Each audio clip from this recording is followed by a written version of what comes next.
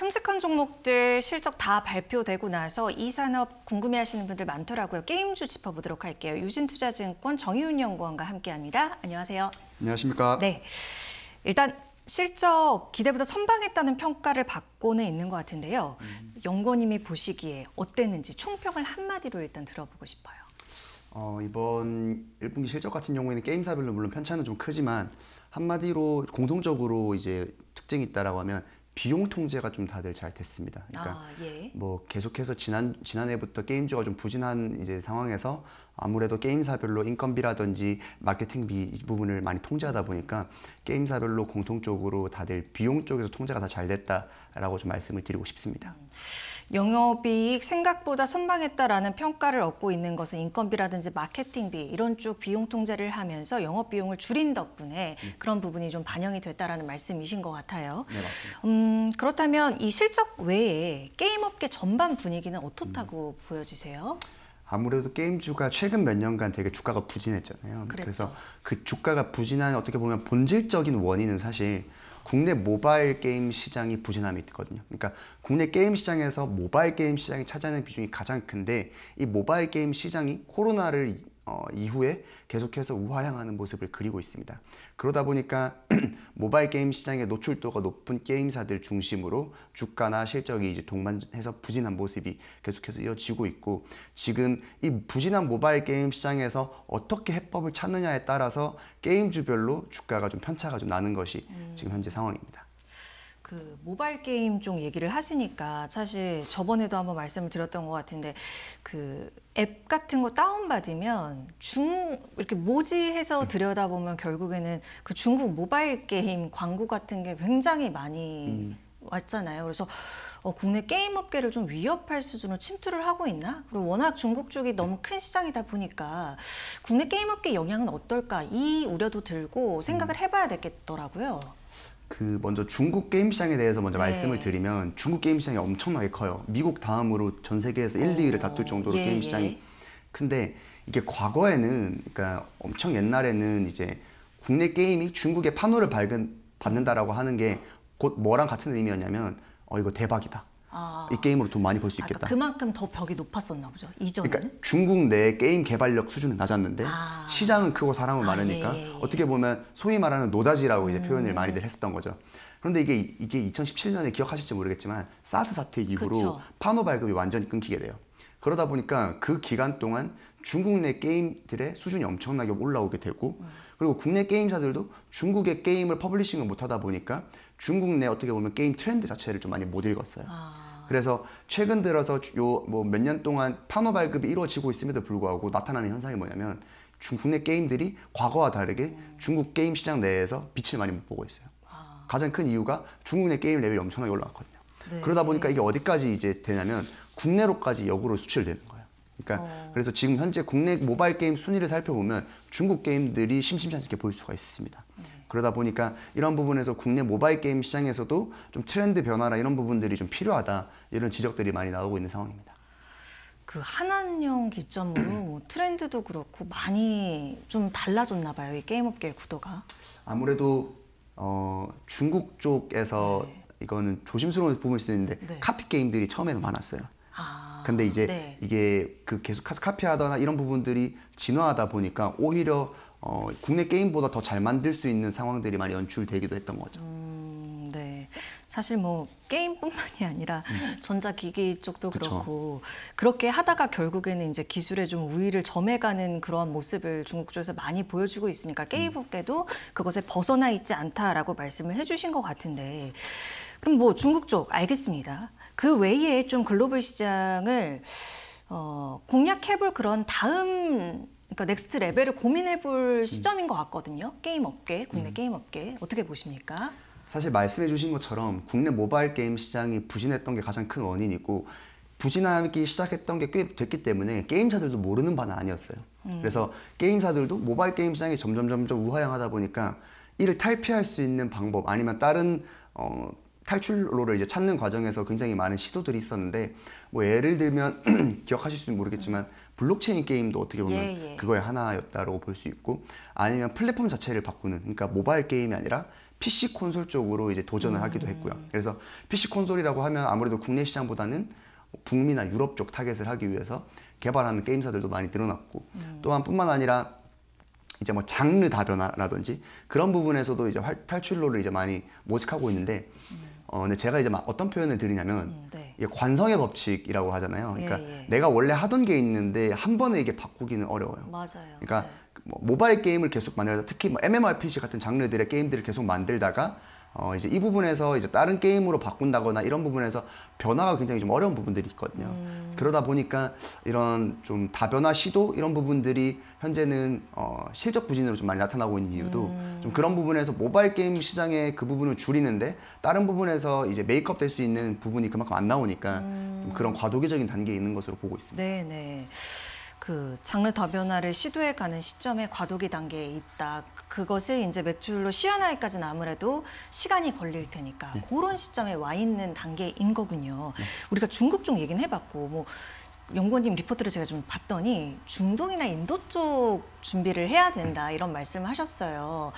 우리 시장이 좀 뭐 들어가 있는 뭐 역할을 하고 있는 그리고 결과를 내고 있는 그런 치들들이 좀 있나요? 어때요 이쪽은? 어, 그러니까 중동 인도 시장이라고 제가 표현을 하긴 했지만, 그러니까 다시 말하면 중동 인도 시장 은 국내, 그러니까 국내 시장 말고의 시장들을 네, 개척을 해야. 된다는, 예, 아. 국내 외 글로벌 시장들을 개척해야 된다는 말씀을 드리고 싶고, 이제 그 이유가 뭐냐면 결국에는 국내 같은 경우에는 성장적인 한계가 지금 좀 부딪혔다라고 보고 있기 때문에 그런 부분에서 좀 다변화할 필요는 있다라고 생각을 하고 있습니다. 그런데 특히 중동이나 어, 이런 시장들을 제가 인도 시장을 많이 말씀드린 이유는 뭐냐면 네. 성장 잠재력이 굉장히 높거든요. 음. 그러니까 유저 숫자는 많고 어떤 과금력이라든지 이런 부분들도 중동에 이런 부분은 높은데 사실상 뭐 중동이나 인도 같은 경우에는 게임 개발 쪽에서는 지금까지 좀 많이 뒤쳐졌었기 때문에 국내 모, 아, 국내 게임 시장에서 먼저 이 부분을 선점을 해서 어, 현지 유저들에게 맞는 컨텐츠를 제공을 한다라고 하면 이런 부분들이 새로운 기회가 될 수 있지 않을까라고 생각을 해서 말씀을 드렸고 대표적인 경우가 크래프톤이 될 것 같아요. 아?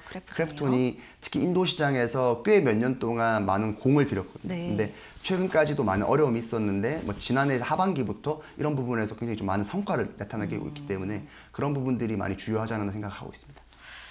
그러면 최근에 연구원님이 가장 좀 주요하게 보시는 인기작이라고 할까요? 기대작 이런 걸 들어보고 싶은데요.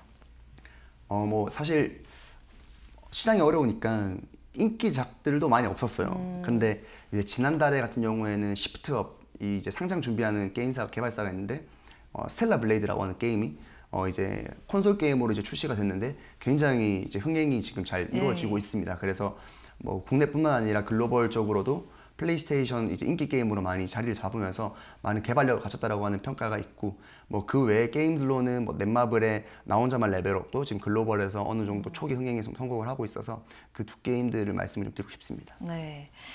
그 나 혼자만 레벨업 이거 웹툰 기반한 그거죠. 맞습니다. 음, 지금 스텔라 블레이드 얘기를 해주셨는데 일본 쪽에서도 열풍이 대단하다고 합니다. 그 상장 준비 단계에 있는데 IPO 흥행할 거라고 예상이 되십니까? 그리고 이 훈훈한 기운이 다른 업체에 전해질 가능성은요?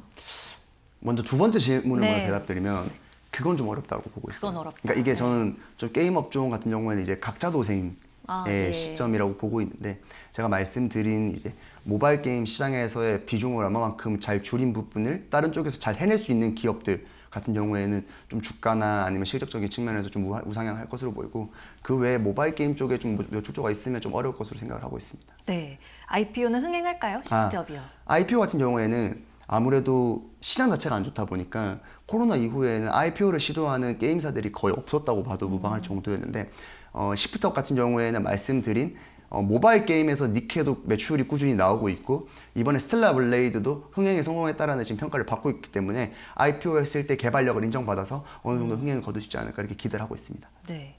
그 콘솔 게임 국내 업체들이 잘하고 있는지 잘 몰라서요. 어때요, 현아님? 아무래도 제가 말씀드렸다시피 국내 게임사들이 모바일 게임을 그쵸. 에 집중한 지가 거의 한 10년이 넘었기 때문에 어, 도전은 하고는 있지만 아직까지는 좀 어려움이 많은 단계라고 생각은 하고 있어요. 그래서 어떤 IP적인 로얄티도 없는 상태고 개발력도 이제는 막 어, 바뀌고 있는 시점이기 때문에 아직까지는 좀 많이 도전하고 있는 단계라 생각하시면 될 것 같습니다. 음, 네, 알겠습니다. 그 앞서 넷마블 나 혼자만 레벨업 얘기해 주셨는데 어떻습니까? 넷마블 주가에는 좀 유효한 그러한 신작이 될 거라고 보십니까? 주가에는 유효하다라고 생각을 들고 있고요. 음. 다음 분기, 2분기부터도 실적이 이제 많이 드러날 것으로 보고 있는데 이게 다만 좀 조심하셔야 되는 부분은 뭐냐면 아무래도 이 게임이 지금 어, 출시된 지 얼마 안 됐다 보니까 이러한 흥행이 얼마만큼 장기화 될 수 있는지도 좀 첫 번째로 지켜보셔야 되는 거고 두 번째는 넷마블이 신작이 흥행한 게 정말 오랜만이에요. 그러니까 어. 최근까지만 해도 뭐 흥행을 했던 그 신작이 기억이 잘 안 날 정도로 그렇네요. 이제 좀 어, 꽤 오랫동안 좀 부진이 시달렸는데 아무래도 어, 이번 타석에 홈런을 쳤는데 다음 타석에도 홈런을 칠 수 있을까에 대한 기대감이 좀 있어야 되거든요. 음. 그래서 이 다음 기대작들이 또 얼마나 흥행을 할 수 있을까가 현재 주가 수준에서 한 번 더 점프할 수 있는 어, 그런 기회가 되지 않을까 생각하고 있습니다. 음. NC 소프트는 어떻습니까? NC 소프트는 이번 실적 발표에서도 이제 많은 변화를 예, 예고를 했어요. 뭐 예를 들면 뭐 인력 조정, 인력 구조 조정 관련해서도 공고사직을 지금 진행을 하고 있고 개발 부분에서도 많은 변화를 이뤄내려고 지금 하고 있고 또 주조하는 정책에서도 적극적인 모습을 좀 보이려고 하고 있는데 아무래도 게임사는 결국에는 게임으로 보여져야 되는 게 맞거든요. 그러니까 그런 변화들이 유의미한 건 맞는데 얼마만큼 게임 신작으로 이어질 것인가. 그러니까 그런데 다만 지금 현재 기대하는 신작들이 2025년 쪽으로 많이 좀 기울어져 있기 때문에 그런 부분에서 NC소프트도 좀 아직까지는 어, 주가가 완전 운상향할 수 있다라고 생각하기는 좀 어렵지 않을까 생각하고 있습니다.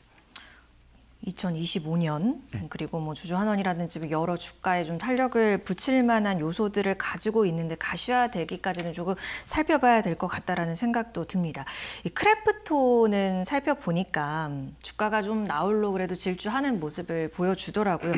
계속 지속성을 가지고 갈 수 있을지도 궁금해집니다. 제가 아까 말씀드린 계속해서 좀 강조드린 부분이 국내 모바일 게임 시장이 안 좋다라고 계속해서 말씀을 드렸는데 크래프톤이 국내 모바일 게임 시장에 대한 비중도가 제일 낮아요. 왜냐하면 크래프톤은 배틀그라운드 IP를 예. 통해서 이제 PC 배틀그라운드라든지 아니면 모바일 배틀그라운드는 글로벌이기 때문에 아무래도 그런 부분에서 제일 벗어나 있기 때문에 주가나 실적이 계속 우상향하고 있고 특히 인도 쪽에서의 좀 어떤 그런 성과들이 지난해 하반기부터 계속해서 나오고 있고 또 글로벌 펍지 모바일도 계속해서 잘 나오고 있습니다.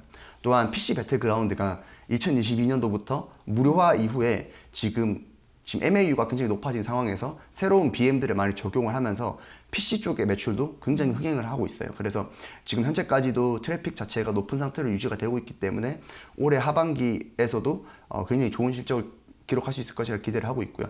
그렇기 때문에 실적적인 부분에서는 좀 많이 부담이 어, 낮아진 상황이고 다만 여기서 신작 흥행까지 더해주면 좋을 것으로 보고 있는데 신작 같은 경우에는 4분기에 나오는 다크앤다크 모바일이 현재 지금 남아있는 상황입니다.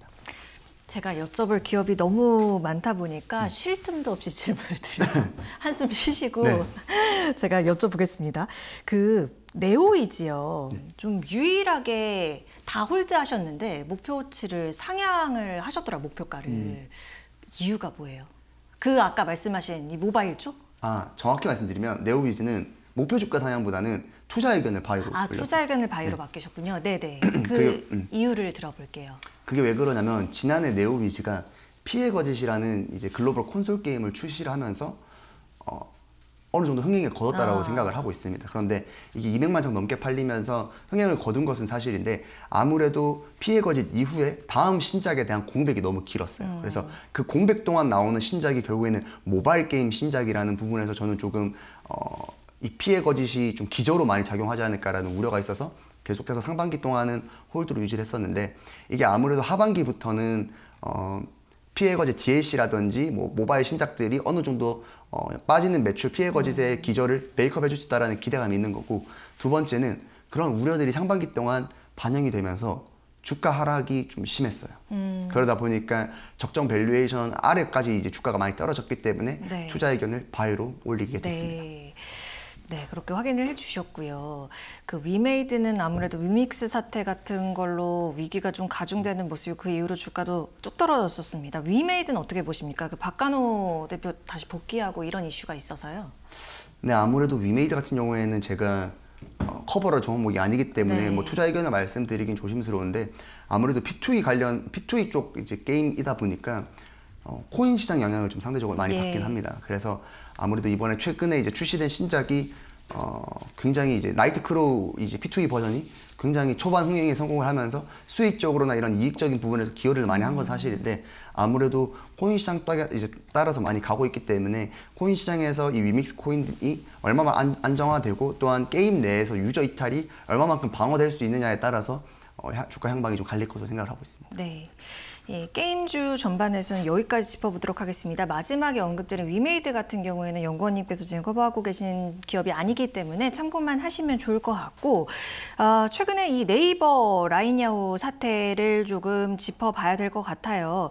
지분 매각을 놓고 하냐 마냐 그리고 뭐 이제 우리 정부 쪽에서도 어떠한 공식적인 입장을 내놓고는 있는데 수순이 어떻게 흘러갈 것이라고 예상되십니까? 그 어제 나온 기사를 보니까 그 고용 부분 관련해서 일본 쪽 CEO가 입장을 밝히면서 근데 보통 이런 고용 안정성에 대한 언급이 최대 주주 변경이 현실화한 단계에 이뤄진다. 음. 뭐 이런 해석도 있어서요. 어떻게 보세요, 연구원님은? 이게 아무래도 최근에 라인 야후 매각 사태가 좀 정치권으로까지 많이 불거졌어요. 그러니까 네. 이 사태가 사실 어제 오늘 일이 아니라 좀 어, 장기간 좀 지금 벌어지고 있는 상황인데 결국에 정리를 하자면 어, 일본 정부 측에서 라인 야후의 최대 주주인 네이버와 소프트뱅크에게 지분 관계를 정리하라고 했고 사실상 이거는 네이버가 가지고 있는 어, 공동 최대 주주의 지위를 포기하라는 거거든요. 지분을 매각함으로써. 그래서 그 부분이 네이버가 사실 어, 2차 행정 지도까지 내려오면서까지 이제 요구를 했기 때문에 좀 불가피한 부분이 아닐까라는 우세가 좀 많이 점쳐졌었는데 그래서 시장에서는 얼마에 팔아야 되며 지분을 얼마나 매각할 수 있느냐에 대한 초점이 맞춰졌었는데 음. 최근에는 이게 국내에서도 정치권으로 많이 이슈가 많이 불거졌어요. 그래서 야당에서도 많이 비판하고 있 있는 모습이 보였기 때문에 어제는 또 이제 대통령실 발 기사로에 따르면 네. 지분 매각을 하지 않겠다라는 음, 지분 매각을 하지 않는다. 그러니까 지분 매각을 7월 1일 날 제출하는 조치 보고서에 올리지 않겠다라는 음. 내, 내용까지 나오면서 좀 앞, 앞을 한치 앞을 볼 수 없는 지금 상황에 지금 빠져들었습니다. 그래서 어, 이 전까지만 해도 어, 지분 매각은 불가피하지 않을까 라는 전망이 우세했는데 음. 지금 향후에는 어, 지분 매각을 하지 않을 가능성도 지금 꽤 높아졌기 때문에 이런 부분에서는 오히려 네이버가 어, 리스크가 좀 컸다라고 하면 이제부터 향후부터는 조금 더 그런 부분에서 기대해 볼 수 있지 않을까. 음. 그래서 지분 매각하지 않, 는 가능성까지 열려 있다라고 하면 오히려 혹시나 매각을 하더라도 좀 더 높은 가격에 이 부분을 매각하지 않을 수 있지 않을까라는 음. 기대감도 어, 현재 생긴 상황입니다. 그런 관점 속에서 아마 매수 유지 관점을 내놓으신 것 같은데 그 내용을 좀 더 들어볼 수 있을까요? 뭐 커머스 부분도 음. 그렇고 네이버 전반 좀 짚어주세요. 아무래도 어, 네이버 목표 어, 투자 의견을 유지한 이유 같은 경우에는 라인 사태만 제외하고 봤을 때 네이버가 지난해 한 해 동안 주가를 억눌렀던 요소들이 어떤 부분이랬냐면 광고와 커머스가 있거든요. 그러니까 네. 광고 부분이 국내 경기가 많이 풀리지 않으면서 광고 부분의 반등이 쉽사리 이루어지지 않았었던 게 첫 번째고 두 번째로는 이제 커머스와 관련된 부분에서 중국 쪽 업체들이 많이 치고 온 부분들이 있습니다. 그리고 추가적으로 어, 생성형 AI와 관련돼서 부, 음. 부분에서도 좀 많이 기대감이 사라진 이런 부분들이 아. 있는데 그 부분들이 사실 연초를 지나면서 좀 해소된 부분들이 좀 많이 상당 부분 있어요.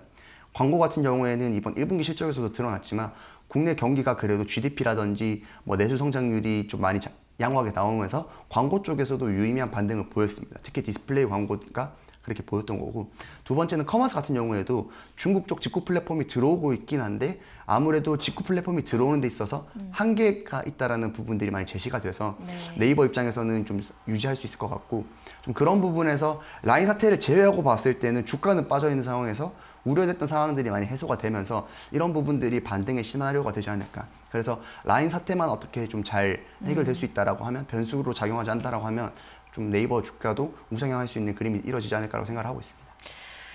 네. 그 생성형 AI 말씀을 하셔서 최근에 오픈 AI에서 이 GPT-4 화제잖아요. 그 클로바 X 좀 정체됐다라는 평가도 많이 나오는데 업계에서 바라보시기에 시선들이 어떤지 또 체감하시기에 어떤지 궁금합니다.